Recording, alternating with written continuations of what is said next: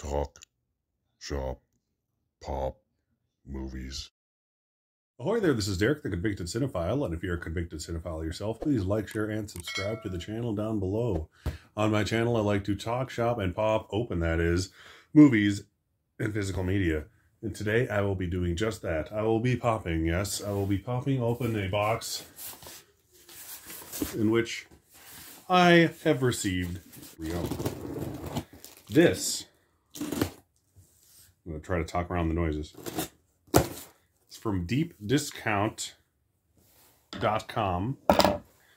I posted on Instagram multiple times about how great of a deal this thing was. It is a collection that was half price, on top of them having a 15% off coupon. That price and coupon are no longer available. It's still a pretty good deal on that site, but I got this for 55 ish dollars and change. The original price was like 130 so yeah. And it's something i've been wanting and i honestly thought it was out of print. It is. The phantasm complete sphere collection. And let's be honest we just all want a flying phantasm ball to stab us in the face and suck the blood out of our brains right i had to get this i've been eyeing it for a while i only own phantasm 1 and 2 my phantasm 2 is a uh, Scream Factory Collector's Edition one, so I'll be keeping that. There is also a black version of this, in which I've never seen. I'm guessing that was the more limited version. But let's just look at it here. So that's what it looks like on the inside there.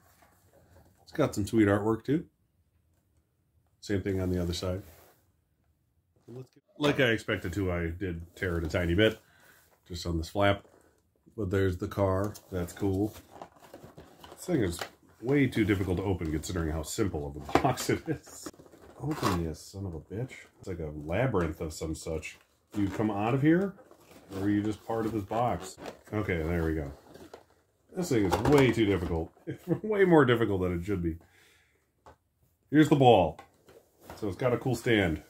So it actually is like a separate thing it comes with. So that's kind of cool. and it's got a plastic bit underneath it in which it sets. That's what it looks like inside there. So that's kind of cool. But yeah, here it is. I'm guessing there's like loose pieces inside there because there's no like button to activate this with. It doesn't like come apart. Here's the ball. It's cool though. I'm just more confused. Ah, there's the shiny bits. Okay, so there's this itty bitty plastic stand and these metal sharp parts. That's something. I might honestly just keep this in the box, kind of how it was for now. Just so I know what's all in here.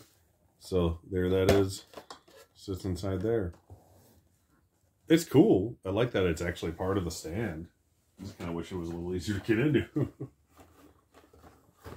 and then the little bolts on the front are the actual collection. That's really cool. It's a nice looking set. I've seen all these movies once, fairly recently at least. It's a nice hard case too. It's not somewhere in between, you know, Arrow limited edition and standard cardboard thickness. so there's that on the back. There's those damn poles. No, it's actually technically this way. I'm holding it upside down. So there they are. Got the posters on the inside. It's cool yeah, the movies aren't bad. It's an interesting series, and it's nice because they're all made by the same filmmaker, and they all follow essentially the same timeline. There's no weird like Halloween, you know, seven different timeline kind of bullshit going on in here. It's all one series with the same actors. That's why it took 40 something years to get them all finished. Fantastic.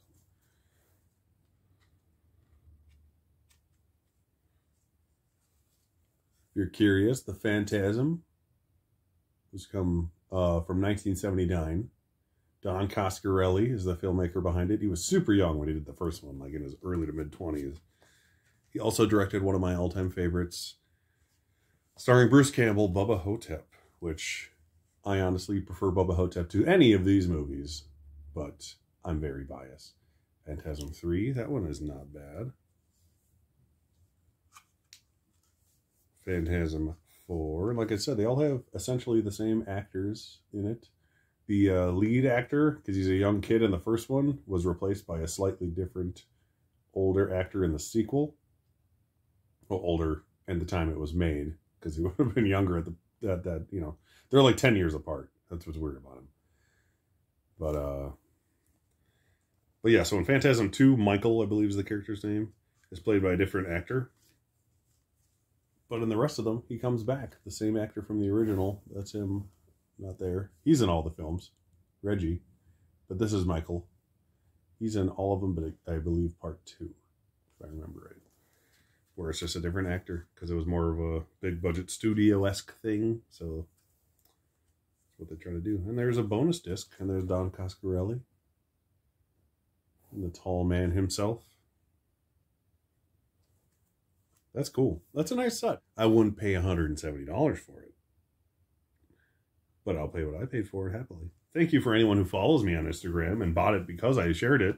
I saw a couple people got it before I did, so I thought that was kind of funny.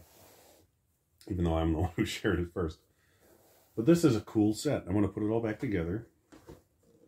And put it on the mantle up there. No, I'm not going to be able to get all back together. Okay.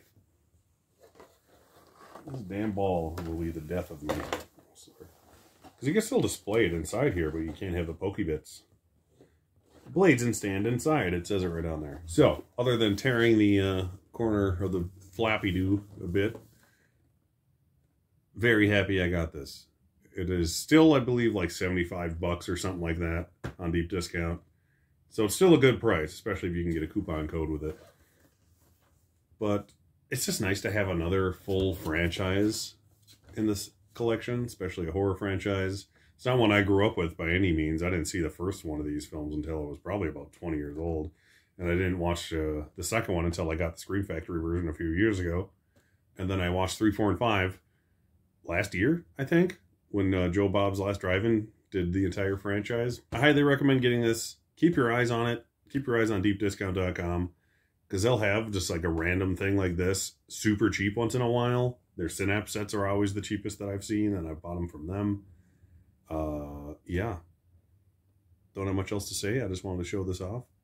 Tomorrow I should be getting my Kino Lorber in finally. I was going to do them together in the same video, but that would be too long and annoying. So I'll do them separate. My name is Derek. Thank you for watching, and I'll see you next time. Shop. Pop. Movies.